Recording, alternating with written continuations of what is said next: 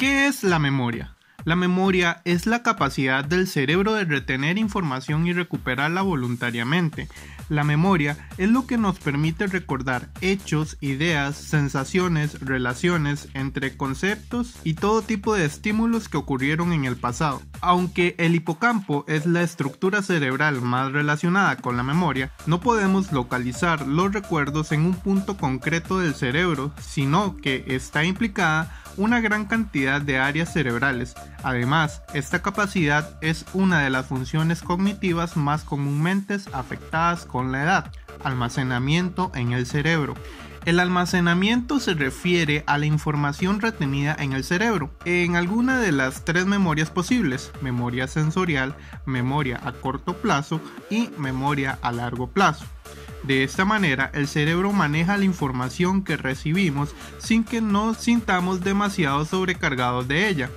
Si algo lo hemos repetido varias veces por mucho tiempo, es posible que quede en nuestra memoria a largo plazo, mientras otras cosas simplemente están de paso en nuestro cerebro. La memoria a largo plazo no se encuentra en una zona determinada del cerebro, sino distribuida en la corteza cerebral. Luego de consolidarse, se almacena como grupo de neuronas en la misma zona del cerebro que se generó. Por ejemplo, estará en la corteza visual si es una memoria relacionada con la vista. De esta manera, las memorias se van reconstruyendo y tomando nuevos elementos de las diferentes partes del cerebro y no se mantienen estáticas, aunque por momento no recordamos algunos datos.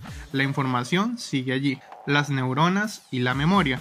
En un estudio publicado en la revista Life, un grupo de investigadores y colaboradores del Instituto Salk de Estudios Biológicos asegura haber descubierto que la capacidad de memoria del cerebro humano es un orden de magnitud mayor de lo que se pensaba. Nuestras nuevas medidas de la capacidad de memoria del cerebro aumentan estimaciones conservadoras en un factor de 10, por lo menos un petabyte, según declara Terry Segnowise. En otras palabras, el cerebro humano puede ser capaz de almacenar un petabyte de datos, que son un cuatrillón de bytes. Eso es suficiente memoria para almacenar 33,3 años de video de alta definición Google procesa sobre 20 petabytes de datos cada día. Facebook tiene 60 mil millones de imágenes, lo que supone 1,5 petabytes de almacenamiento. Según explican los científicos, nuestros recuerdos y los pensamientos son el resultado de los patrones de actividad eléctrica y química en el cerebro una parte fundamental de la actividad que ocurre cuando las ramas de las neuronas, al igual que un cable eléctrico, interactúan en ciertos cruces y son conocidos como sinapsis. Un cable de salida de una neurona se conecta a un cable de entrada de una segunda neurona. Las sinapsis serían como voces con las que las neuronas se comunican entre sí. Las señales viajan a través de la sinapsis como productos químicos llamados neurotransmisores para contar a la neurona receptora si se debe transmitir una señal eléctrica a otras neuronas.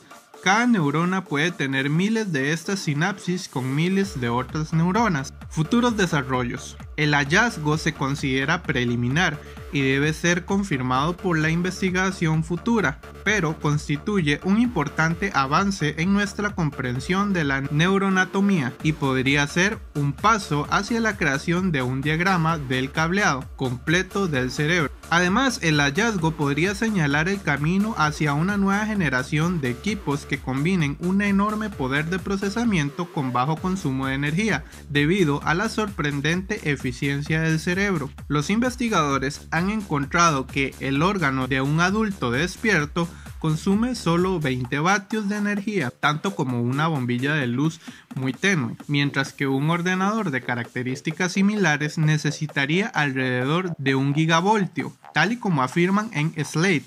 Este descubrimiento, según esperan sus autores, podría ayudar a los ingenieros a construir computadoras increíblemente poderosas y que consuman poca energía. Dado que el cerebro contiene varios billones de sinapsis, los investigadores creen que sus cálculos apuntan a una potencia de procesamiento verdaderamente asombrosa. El coautor del estudio explicó en un comunicado que las nuevas medidas de la capacidad de memoria con cálculos conservadores aumentan la capacidad del cerebro en un factor de 10 a por lo menos un petabyte, en el mismo rango que la World Wide Web. Obviamente la diferencia entre nosotros y un ordenador radica en que un ordenador recuerda a la perfección absolutamente todo sin embargo, el cerebro humano va desechando aquello que ya tiene un tiempo o que no le parece útil. En este sentido, se puede decir que la memoria de los ordenadores es más perfecta que la de los humanos. Aún así, no es probable que alguien use toda la capacidad de su cerebro